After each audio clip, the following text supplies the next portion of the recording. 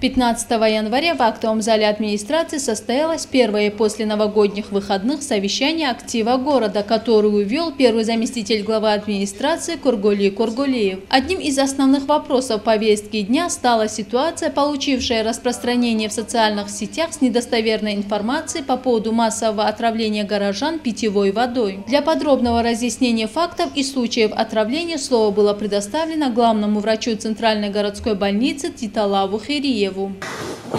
В соцсетях появилась информация о том, что э, в городе Хасавюрт идет вспышка э, инфекционных заболеваний. Во-первых, хочу сказать, что такое вспышка инфекционных заболеваний.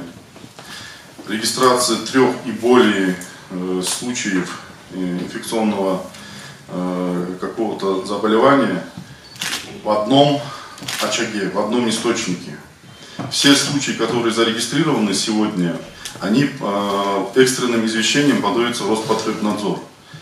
И ни одного случая, все, все случаи, они из разных источников. Поэтому говорить о, о вспышке э, не совсем корректно. С другой стороны, есть подъем заболеваемости.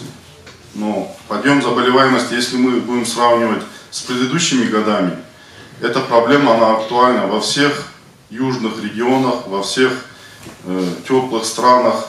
Рассылка была в городе.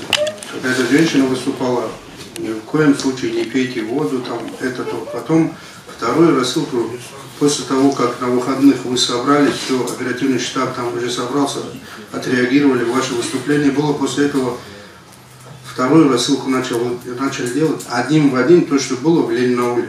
Вот эту скопировали текст и здесь в городе начали эту же рассылку делать. Мы там э, это, дезинфекцию делаем, не пейте воду, вот это все. И поэтому люди, у людей паника. Сколько людей ко мне звонили, я знаю, каждому из вас звонили, близкие, родственники, кто это правда или неправда. Поэтому надо им объяснять всем знакомым, друзьям, товарищам, родственникам, всем. В свою очередь, начальник управления Роспотребнадзора по городу Хасавюрт Аида Амарова рассказала присутствующим о полученных на данный момент результатах экспертизы воды с разных источников. Ну, по поводу э, э воды я скажу, что э, по государственному заданию в рамках социально-гигиенического мониторинга у нас планируется ежегодно ну, определенное количество исследований. Вот так на микробиологию в прошлом году было исследовано 129 проб воды с разводящей сети, 39 проб с источника. Это водозабор Акташ.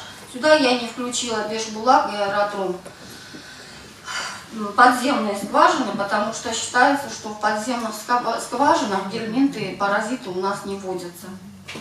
Так, э, дальше. Э, так, результаты исследования были отрицательны, то есть э, микроорганизмов никаких обнаружено не было. Кроме того, целенаправленно 10 проб было исследовано на паразитологические показатели. Тоже результаты отрицательные. Значит, в связи с ситуацией в Ленинауле, учитывая, что они тоже пользуются акташской водой, нам было предложено проверить выборочно э, несколько точек города и самого источника.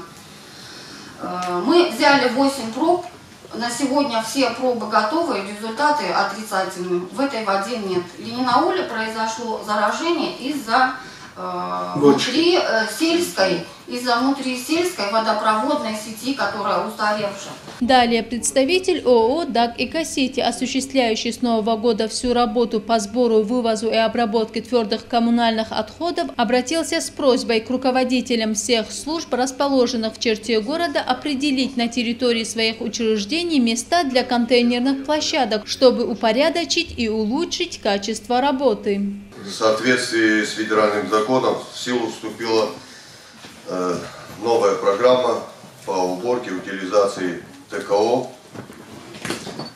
Э, по, как я сказал, по э, северному, по Хасавюрскому району являемся мы. Статус регионального оператора присваивается на сроком 10 лет.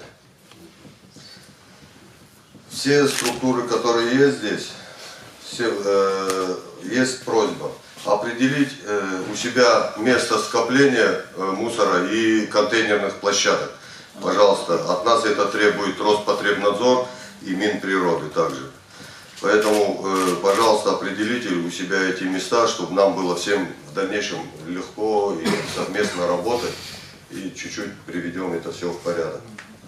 А мы, в свою очередь, будем своевременно, четко и ясно вывозить этот мусор. И также, пожалуйста, с, э, с Дагика-сервисом вам надо заключить договора на вывоз ТКО. В продолжении Кургули Кургулиев поинтересовался планом намеченных работ Управления коммунального хозяйства, также ситуации в плане обеспечения населения газа, вода и электроэнергии. Зарема Хайбулаева, Самат Гакаев, информационная программа «Пульс».